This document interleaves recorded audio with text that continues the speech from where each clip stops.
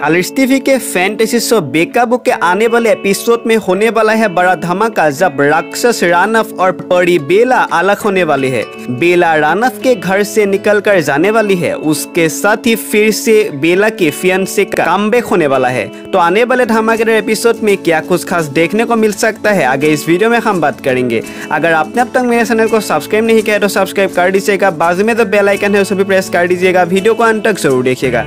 तो आइए वीडियो को शुरू करते हैं। बेकाबू के आने वाले धमाकेदार एपिसोड में हमें देखने को मिलेगा, जो बेला का जो फियंसे है, वो फिर से बेकाबू में धमाकेदार एंट्री करने वाले है, यानी रानफ और बेला की ज़िंदगी में फिर से वो आने वाला है।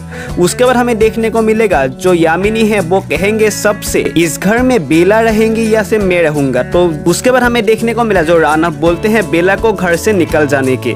उसके बाद हमें देखने को मिला, जो बेला है, वो घर से निकल कर चली जाती है, लेकिन उसका जो बदला है, वो अधूरा रह गया। है। तो आने वाले एपिसोड में हमें फिर से तकरार देखने को मिलेगा बेला और रानफ का। उसके साथ ही उस परी का राज भी खुलने वाला है, जिसने ऐशोत को मारा था। तो बेकाबू के अपकमिंग एपिसोड को देखने के लिए आप कितना ज़्यादा एक्साइटेड है कमेंट्स में बताना मत भूलेगा जहाँ पर बेकाबू के बीते एपिसोड में हमें देखने को मिला था रानव और बेला के बीच एक महायुद्ध होता है।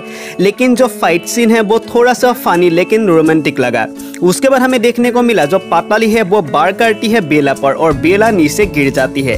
रानव मदद करती है बेला की और हमें पता चलती है कि पाताली को पहले से ही पता थी, जो बेला है, वो असलियत में कोई साधारण लड़की नहीं है, वो परी है और वो ही रासपरी देवले का है।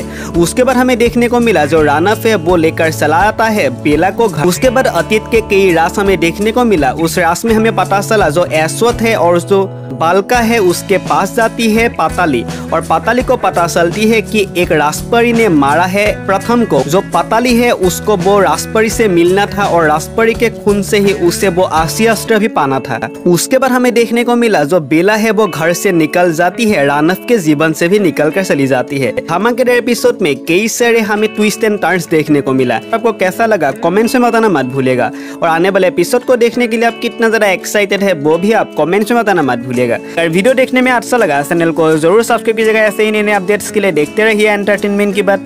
जहाँ पर हम देते हैं एंटरटेनमेंट से जुड़ी हुई हर छोटी बड़ी खबरें, सबसे पहले तो देखते रहिए एंटरटेनमेंट की बात। that